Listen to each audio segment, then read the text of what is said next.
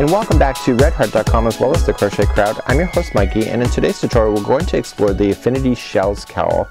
This cowl actually really took me by surprise on the simplicity but also the really effectiveness of the stitches.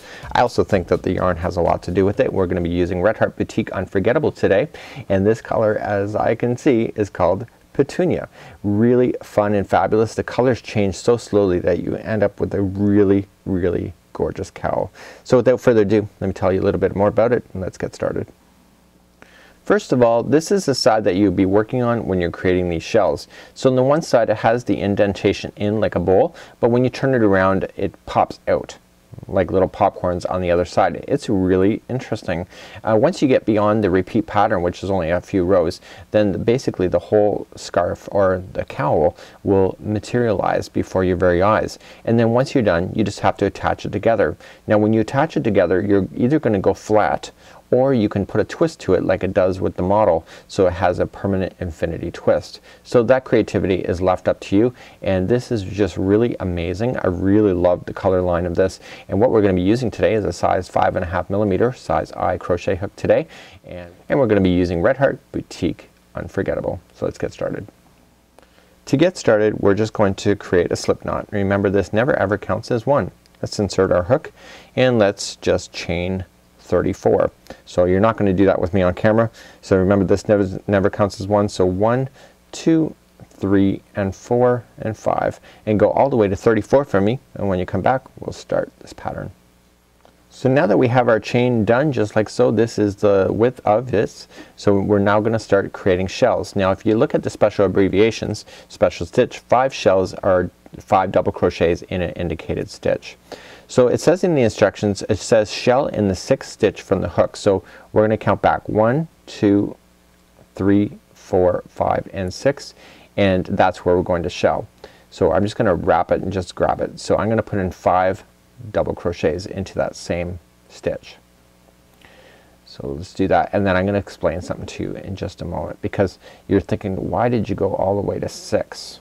And if you're not thinking about it, you should be thinking about it. so it's just one of those uh, things I want to make make it very clear to you that we have. So I got my five in and so let me explain that to you. So the reason why you went to five is that you've actually that that whole distance that you just went counted as the beginning first double crochet and chain two. So that's basically a double crochet and chain two. So that's why you have so many being skipped. So you do need that gapping right into the edge just like so. So let's uh, begin our next portion of this line. So all we're going to do now is that we're going to look to the bottom of the line and because we've pulled out so much string here this will happen to you so I want to make sure that I leave it here in the video is that we have one two three and four. So we want to skip four and we want to go to the fifth. Okay so we're going to skip this whole distance and then we're going to put in another shell. So that's how we're gonna do this entire line. We're gonna be skipping over these four. So because the shell has five in there, when the shells are on the top of each other they actually can extend to reach each other. So that's why there's so much of a gapping space because the top shells can actually attach to each other without any problems at all. Just like that. So we have four and five and then coming back down. So one, two, three, and four going to the fifth another shell. So please do that. Uh, I'll meet you back at the end of the line. It's slightly different at the very end and I'll show you what to do then. Okay, once you get to the end of the line just like so, you're gonna have just a few chains left over. No big deal. You're just gonna skip over to the final and just go into the very last chain for a double crochet. So that counts as basically, remember that we went six chains from the hook. This is counting for what we did on the other side. So though it doesn't look as pretty as it does over here it's being defined it's the same thing and so this is what you have at this particular moment. So let's turn our work. This row is so easy. This is uh, Colleen was able to bang this off really quick.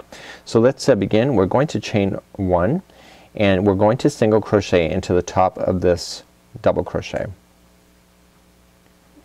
And essentially what we're going to do now is that we're going to chain five. One, two, three, four, and five and in between these two shells that you see just this gapping space just throw in a single crochet that's all this line is so one two three four and five Okay, next shells in between, throw in a single crochet.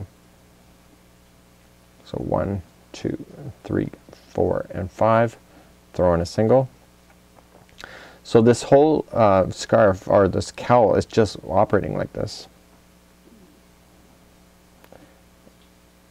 And it's really quite fun and easy. So one row you just have all these chains. One, two, one, two, three, four, and five. And coming in.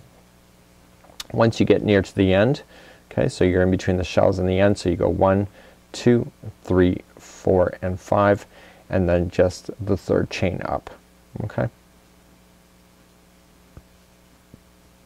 just like so a single crochet in and then you're good to go. So this is what you have at this moment. So let's turn our work. This row is now the repeat row. So this is what you're going to be doing each and every time. So we're going to chain three. So one two three. This is no different than what you did down here. And so now we're going to shell. So what you can do is that you can count it over and you're basically looking for the middle chain of this grouping of five. I see it right there. So you can either count it over okay by skipping over two and basically just put in a shell right there into the actual chain not to the gapping space.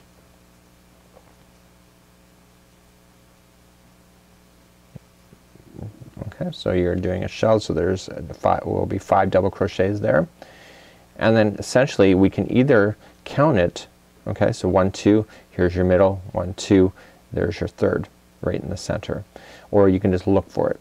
It's up to you you know. It's open lace work. You can probably get away with just eyeing it up Uh, and once you get confident with the pattern it probably go really quickly for you as well so every time you're just going to shell just looking for the middle one and please do that all the way across and when I come back I'll just help you finish off this line and then we'll just get you started again. So basically what we're going to do then is just doing this grouping of chaining of five again and then doing exactly what we're doing right now. It's just a really easy and simple but really amazing looking pattern to work on. Okay, so I'm coming into the middle of the final shell area. You can basically these shells just sit on top of each other like stacked blocks. Okay, so they don't they're not like brickworks of a house where they'd be staggered. These shells sit directly over top of each other. So it's an easy way to remember. So there's gonna be five in the final for your shell. And then what we just need to do is that over here we just have to put in a double crochet right into the edge of where the single crochet is to finalize off that row. Okay, so then all you just need to do turn. And again you already know how to do this so you're just going to chain one single crochet into the first and then chain five. One two three four and five. And in between the two just slap in a single crochet. And one two three four and five slap in another one. And you can see the colors are just transitioning right before our eyes. It looks fun and fabulous. And then once you get to the end just turn it and just do exactly what you just did on this last row in order to complete this entire project. So, so on behalf of redheart.com as well as the crochet crowd I'm your host Mikey. And this has been the infinity shells cowl brought to you by Red Heart. Until next time we'll